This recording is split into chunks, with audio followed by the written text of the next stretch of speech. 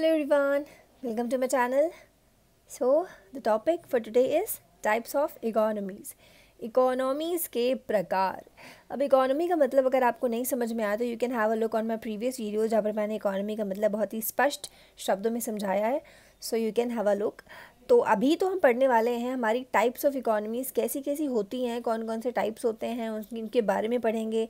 थोड़ा सा उनके मेरिट्स पढ़ेंगे थोड़ा सा डी मेरिट्स पढ़ेंगे। तो let's start Now, as per the line, you can read here on the basis of economic activities, economies are of three types तीन तरह की होती है इकोनॉमी तो पहली इकोनॉमी पर आ जाते हैं कैपिटलिस्ट दूसरी है सोशलिस्ट और तीसरी है mixed so let's start with the capitalist economy so here we go तो कैपिटलिस्ट इकोनॉमी का सीधा मतलब होता है एक ऐसी इकोनॉमी जहाँ के प्रोडक्शन और कंजम्पशन में गवर्नमेंट का कोई भी हाथ नहीं होता है। रूल्स एंड रेगुलेशंस नहीं होते हैं, कोई कंट्रोल नहीं होता है, कोई इंटरवेंशन नहीं होता है, कोई इंटरफेरेंस नहीं होता। सिर्फ़ और सिर्फ़ प्राइवेट इंडिविजुअल्स ही उस पर्टिकुलर मार्केट को कंट्रोल करते हैं, वहाँ पर कॉन्ट्रैक्ट्स बनाते हैं प्राइवेट प्रॉपर्टी ओन करते हैं फ्रीडम ऑफ़ कंजम्पशन होता है फ्रीडम ऑफ़ प्रोडक्शन होता है।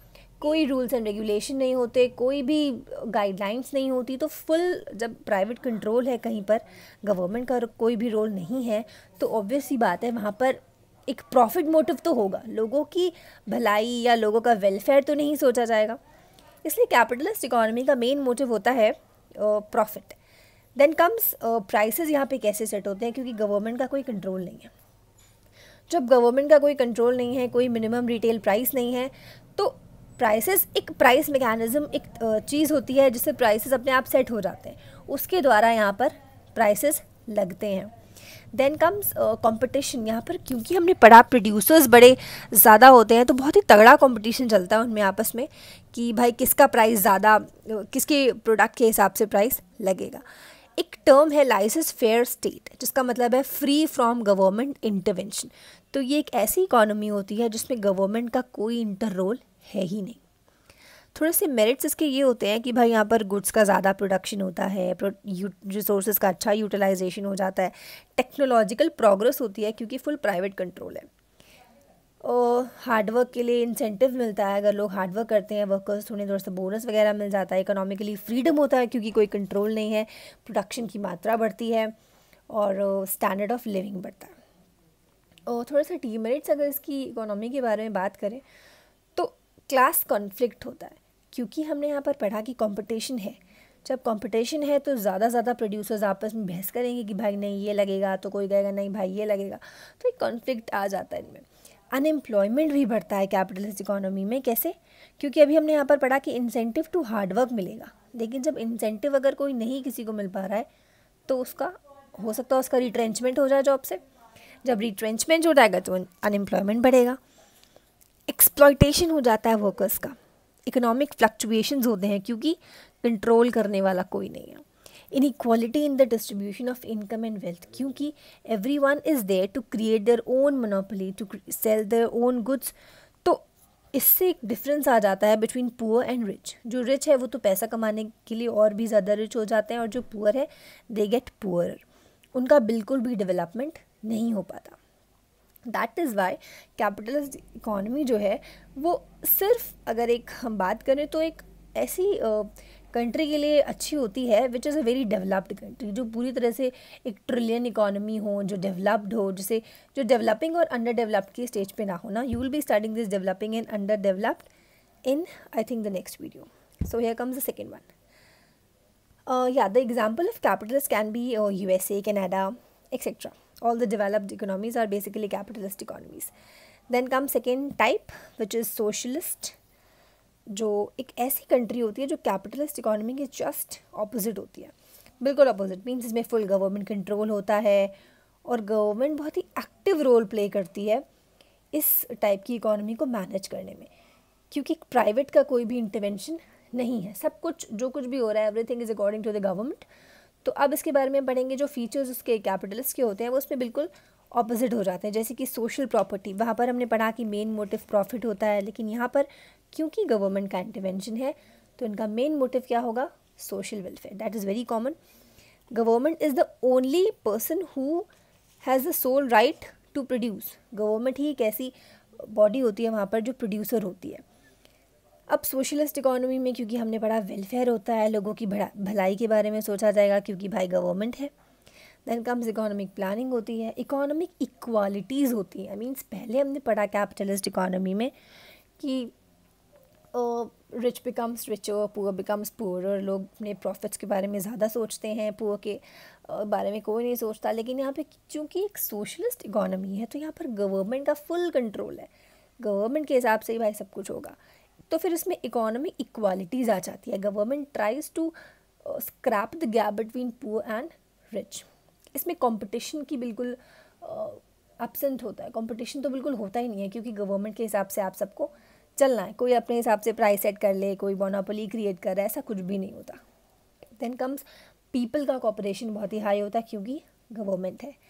मेरिट्स इसके हो जाते हैं रिसोर्स का बेटर यूटिलाइजेशन होता है because government is there rules regulations follow होते हैं। सोशल जस्टिस मिलता है इकोनॉमिक स्टेबिलिटी होती है, भलाई होती है, लोगों की सोशल सिक्योरिटी होती है एंड इकोनॉमी की रैपिड ग्रोथ होता है मीन्स इकोनॉमिकली थोड़ी जल्दी बढ़ती है। Then comes demerits demerits में इंसेंटिव टू हार्डवर्क नहीं है। कोई हार्डवर्क कर रहा है तो उसको उसका बेनिफिट नहीं मिलता।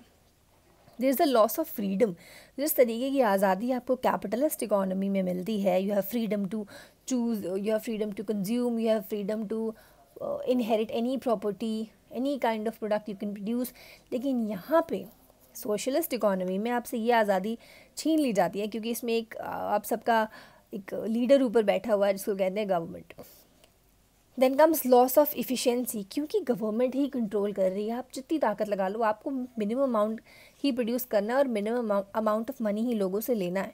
तो आपके उस एफिशिएंसी का कोई यूज़ नहीं हो पाता क्योंकि देर इज़ अ लिमिट कोई लिमिट लगी हुई है, इसलिए आपको उस लिमिट के अंदर ही काम करना होगा।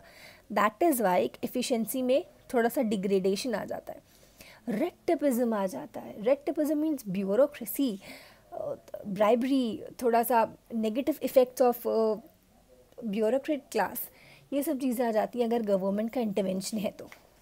लोग पॉलिटिकल पावर्स का यूज़ करना शुरू कर देते हैं which creates a very bad environment and एक और डीमेरिट है concentration of economic power in the political parties अब हमने पढ़ा कि अगर आपको किसी चीज़ का राइट मिल रहा है, अगर गवर्नमेंट को मिल रहा है ऑप्शन ठीक है, आप कंट्रोल कर सकते हैं मार्केट को बट वो पॉलिटिकल पार्टीज़ की हेल्प लेकर थोड़ा अपने रूल्स एंड रेगुलेशन को क्रिएट करते हैं उनके हिसाब से, उन पॉलिटिकल पार्टीज़ के हिसाब से, जिससे हिसाब थोड़ा सा ख़राब हो जाता है।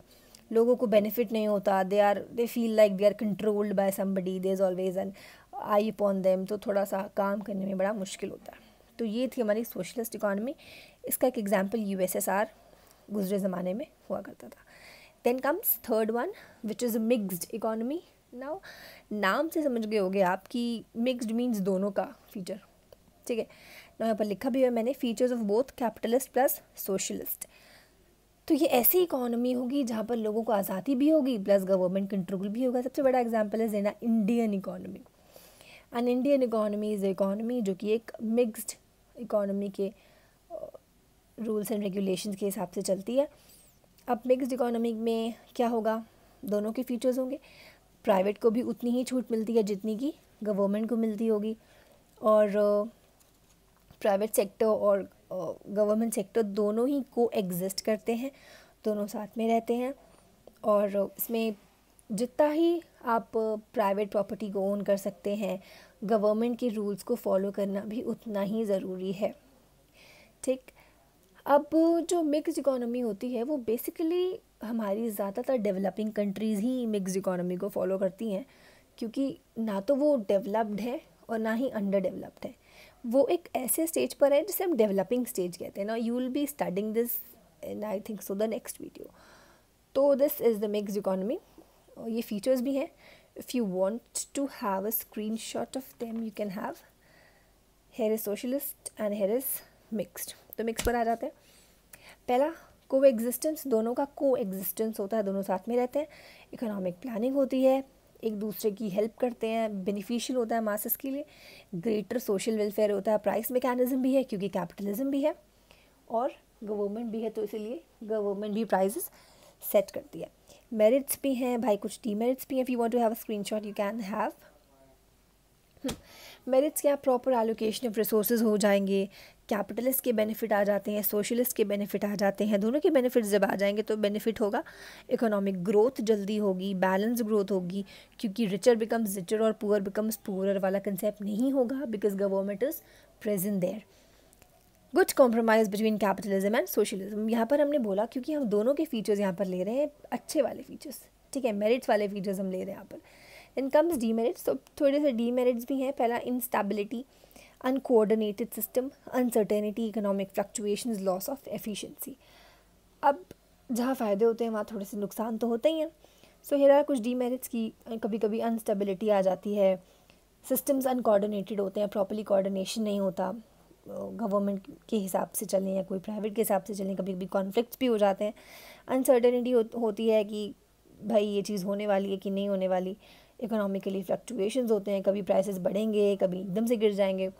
लॉस ऑफ़ इफ़िशेंसी होती है कभी कभी काम करने में थोड़ा रूल्स अगर ज़्यादा लग गए तो फिर मन नहीं करता काम करने का तो इफ़िशेंसी कम हो जाती है।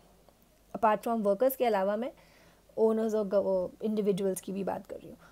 सो so, uh, एक शॉर्ट फॉर्म में क्योंकि बहुत ही बड़ा चैप्टर है and right now I haven't unlocked various features of YouTube कि मैं अपनी वीडियो को पंद्रह मिनट से एक्सीड कर पाऊँ। तो इसलिए विद इन टाइम लिमिट मुझे बनाना पड़ता है। तो I hope types of economies आपको क्लियर हो गया होगा।